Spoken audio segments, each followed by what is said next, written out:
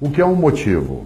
Portanto, o que é motivação? Aquilo que me movimenta, aquilo que me leva a agir numa determinada direção. Ora, qual é a motivação central de alguém? O objetivo daquilo que ela vai fazer.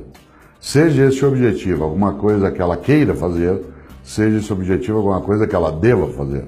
Isto é, algo que ela precisa porque é obrigada a fazê-lo. Nesse sentido, independentemente de ser um querer ou um dever, a motivação é aquilo que me movimenta.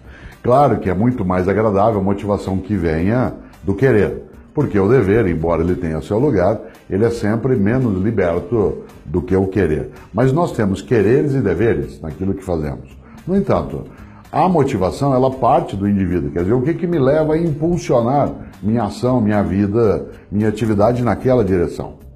Não existe possibilidade de eu fazer com que você tenha esse motivo. Eu, se eu sou teu gestor, a pessoa do teu círculo, eu posso fazer com que você seja estimulada a fazer melhor, a fazer com mais eficiência, a fazer com mais alegria, com mais competência, aquilo que é feito pelos motivos que você tem.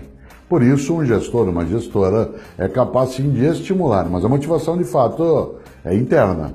Posso eu despertar em alguém a motivação? Olha a palavra de propósito. Despertar, ela está sonolenta, ela está ali abrigada, Hoje alguns fazem isso no mercado com o nome de coaching.